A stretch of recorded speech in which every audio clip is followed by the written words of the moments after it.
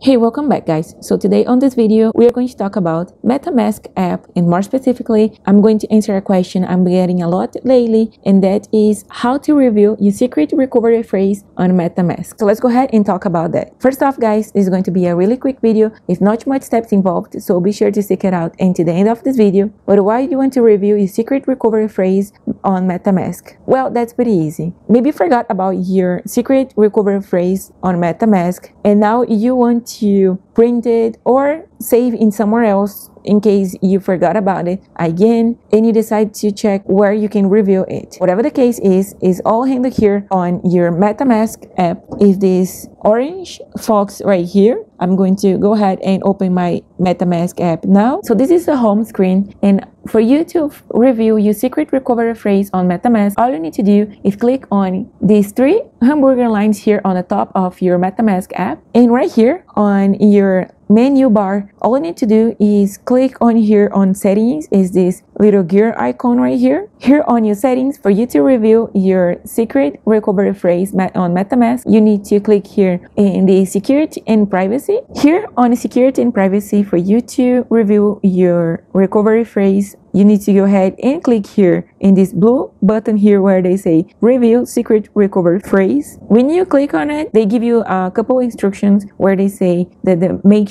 make sure nobody is looking at your screen. In MetaMask support will never request this. So make sure you're doing it very privately so no one can see you putting your password and reviewing your MetaMask security recovery phrase. And also they say here that the security recovery phrase gives you full access to your wallet, funds, and accounts. So MetaMask is non-custodian wallet and that means that you are the owner of your security recovery phrase. So basically they don't have also access to this security recovery phrase. So in case you lost it, any cryptocurrency or investment you have inside your MetaMask app is gone. So make sure you have the secret recovery phrase very safe. I'm going to ahead and enter my password to continue right here. After I enter my password, I'm going to click in this blue next button here. After that, they're asking me to hold to review my, my secret recovery phrase. So I'm going to go ahead and do it. And after I click on it, as you see here, they give me the option to copy to the clipboard. Also, you can screenshot or you can also note on a paper. You do whatever you think easier for you and nobody can have access to your secret recovery phrase. And after do everything you wanted, you can just press here and done.